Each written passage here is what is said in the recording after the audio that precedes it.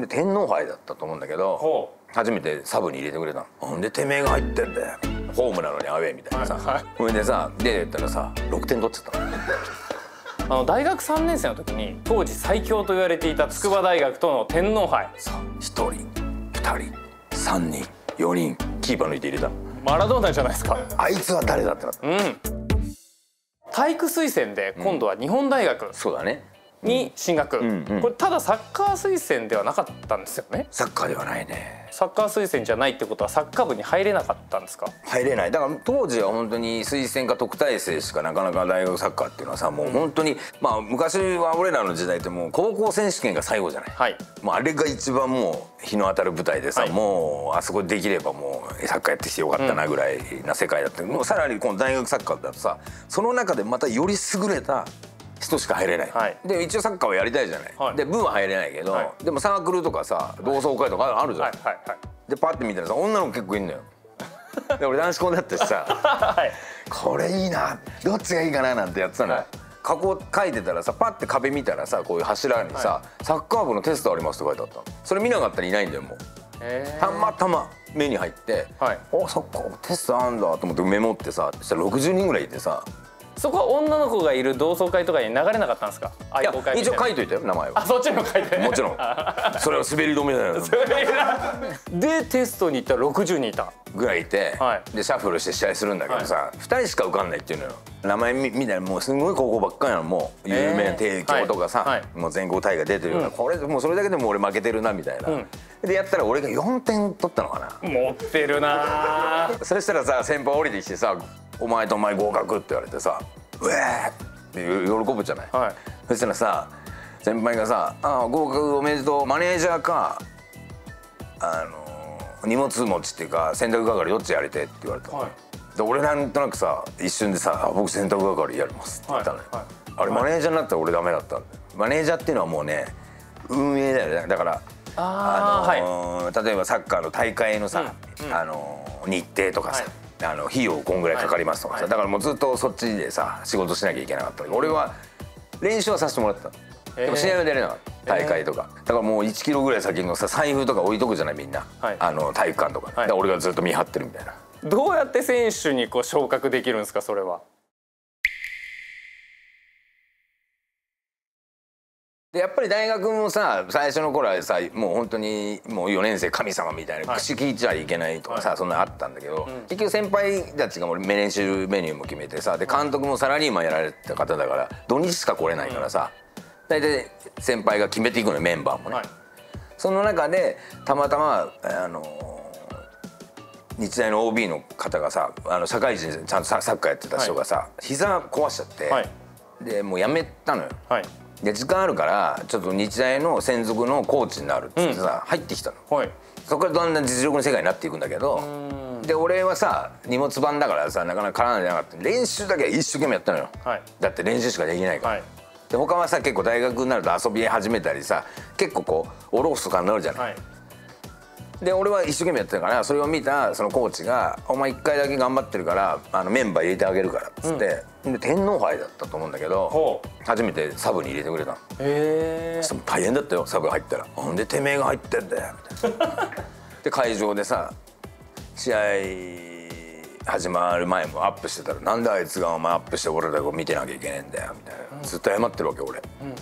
で始まって結構5分ぐらいでずっと試合出てたスーパーエースの4年生骨折しちゃって。えで俺しかいなかったのサブはいがフォワード、したら岡野っていうなるじゃない、はで俺俺す出ていくの、はい。途中からしたらもうみんなブーブー言ってんの「すいません」って言いながら出てってさホームなのにアウェーみたいなさ、はい。はい。はい。ほいでさ出てったらさ6点取っちゃったの。最初1点取るじゃない、はい。そしたら先輩たちがまあまあまあたまたまじゃねえ」はい。2点取ったら「おっ?」ってなるじゃない、はい。ハットトリックしたらさは「うわーってわーマジかよお前、はい。何なんだあいつ」ってなって、はいはい。せっかくならもうハットトリックしてみろ」って言ったら「はい」っつってもう3点取っちゃって。6点取ったんです6か点取って。そっからレギュラーになったの。急に。うわすごいっすね。で俺はね足速いじゃない、はい。で足速いのを久々に知ったのが大学なのよ。そうか高校中盤やっててそうそうそうそうそう。そんな測ることないじゃん 100m そうですね。日大の入った体育推薦っていうのはさ体育学科はい。なの。体育学科だとさその 100m とかさテストがあるのよ、うん。でその行ってさでみんな陸上のスパイク履いてたんだけど俺あんま授業出てなかったからさ、はい。俺バッシュだったの。バスケットシューズだったの。はい。そしたら陸上部の人がさサッカー部って足速そうだからさ一緒に走ってくんないと。やっぱ速い人の方が走りやすいんじゃない、あいいいいよっつってさ、走ってさ勝っちゃったんだよ俺が。その時に10秒7が出たのそれで俺こんな速いんだと。で俺はそのアルゼンチン大好きでさマラドーナ好きだってよく見てたらさカニーヒアって選手が出てきてさ、はい。はいそれがめっちゃ速くてさロン毛でさ、はい。かっこよくてさでもあのこのプレーはできねえなと思ってたの俺高校の時、はい。はでそのカニーヒアも10秒7なのえで俺10秒7でだからできるじゃんと思ってもう一回ビデオを出してさ、はい。見てさ研究してさダーンとそれで蹴って走るようになったの。こんな楽に人抜けんだと思ってそしたらさその6点取ったのもさ昔そんな選手なかなかいなかったんだよ、はい。で昔ってさバックパス手で取ってよかったじゃんキーパー。はいはいそのバックパス全部俺が拾っちゃうわけよ。まさか追いつかないと思ってこうやって適当にか返すじゃない、はい。はいあもう出すとこねえよってバーンってやったら俺走ってってもうそれ拾っちゃうから でキーパーもまさか俺が追いつくと思わないじゃない。だからピョンってね。だからだから6点取れた。でもなんかすごいシンデレラストーリーって言ったら失礼ですけど、偶然がいろいろ重なったってことですよね。そうだね。だ怪我したりとか。ななんかここっていう時にさ、点取るというかさテストもさ、まさか4点取るなんて思ってなかったけどさ、あれでも目立ったから声かけだって60人だからさ、でもまあその裏にはねあの努力されてたっていうところがあるとは思うんですけど、あの大学3年生の時に大岩剛さん、望月重吉さん、藤田俊也さはいはい。んを擁するはい当時最強と言われていた筑波大学との天皇杯。これ関東大会で激突すると思うんですけど、ここでも大活躍されるんですよね。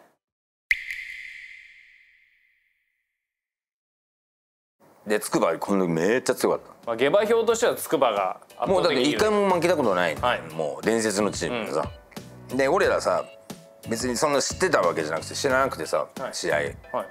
それバブだよバブ。あ大学後輩。はいとさ渋谷で飲んでたの前日。はい。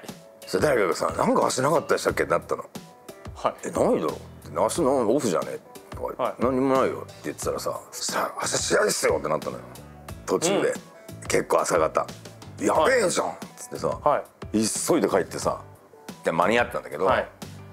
やばいじゃん。もう二日酔いみたいな、はい。点取っちゃってさ俺。が、いきなりポンって、でも本気出すじゃん。それはそうじゃん、はいこいつらが負けれねえってしたら、同点されるんでさ、もうずーっとそこから押されてるわけ、はい。で俺もさもうあのコーナーキックのになったからさ俺も戻ってさ守備しようと思ってさ、はい。ペナぐらいのところに立ってたのかな、はい。それをバーン蹴ったボールキーパーが弾いてさ、はい。俺の転がってきたの、うん。そっから俺ドリブル始まってさ、はい。1人2人3人4人キーパー抜いて入れたマラドーナじゃないですか。でそれで足つって交代したけど。だけどそれもまた偶然でさ、はでもう J リーグが始まったわけじゃない、はい。だからさ筑波を見にさ全部クラブチームのスカウトが見に来てるわけ、はい。全部筑波を見に来てるじゃん、それ俺がそこでやらかすわけじゃん、はい。あいつは誰だってなった。うん。そうすると6チームがオファーはあえどこから来たんですか？まあレッズまあもそうですよね。レイでしょレイソルになってね日立。日立。多分グランパス。グランパス。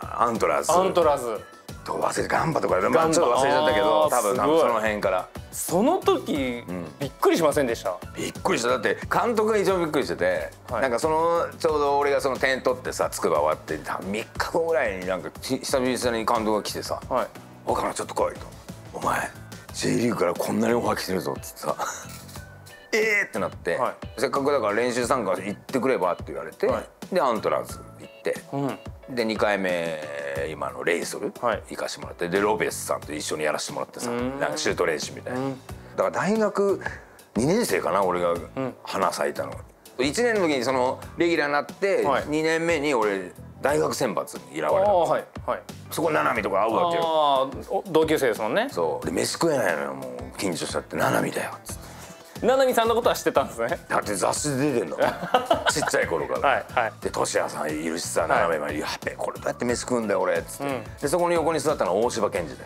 あら。1年生で大学国士舘で。一番一番態度こんなのってあの「ああ飯まだかよ」とかやってんだこの人すげえなと思ってさ。やったらさ一番年下なの。でレッツに決めたのはなぜですか？レッツだけがあの中退してきてくんないかってなったの。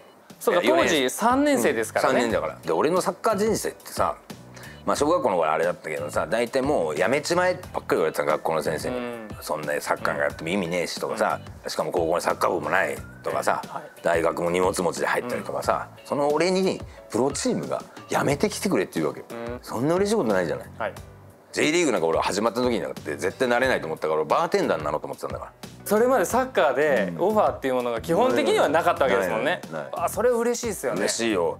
でも親としてはさあと1年で卒業だからさ、はもしさ俺が大怪我したりさ、失敗したらさ大変だから大学は出といた方がいいってなったの。反対はされたんですね、でレッツは来てほしいわけじゃん、はい。で大学側もその当時 J リーガーの最終学歴で日大がいなかったの。だからどうしても大学側としても4年卒業してから、はい J リーグ入ってくれたら日大ってなるじゃん、うん。だから多分それで揉めたんだよねレッツと。うんで親は卒業した方がいいって言ってるしさ学校も行ってんだけどさまず単位が取れてねえのよ。単位が足りてねえのよ、はい。だから卒業できないのどっちはい。にしろ、はいだからもうレッツ頑張れと思ってたわけあそこの大人の話し合い頑張れと。レッツ頑張れと。しかも特待生にしてくれたから途中から。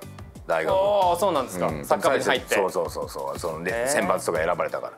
だから余計学校側もさやっぱ残したいっていうのもあるしもちろんそうだなって俺も思ったけど、はい。まあ行くことになったってそういう感じだったかな、うん。そして1994年に浦レッズ加入。もうあの大人同士の話が済んで、はい。そして、えーまあ、プロになられるわけですけど、はい。福田さんも復帰した。の、怪我から、はいちょっとでも追いつけば、俺も日本代表になれんじゃねえかと思って。日本サッカー界のこう転機となる1997年のフランスワールドカップの予選、パッて顔を上げた瞬間にここキーパーがいて中田秀がいたの、真ん中に、ポンって出したらスライディングでカットされた「てめえなんで打たねえんだよ!」ってやってるわけよ。もう試合中に何考えてたかって言ったら、はい。地獄なのよ。サッカーなんかやんなきゃよかったと思ってへー。なんでこんな思いしてサッカーやんなきゃいけないんだ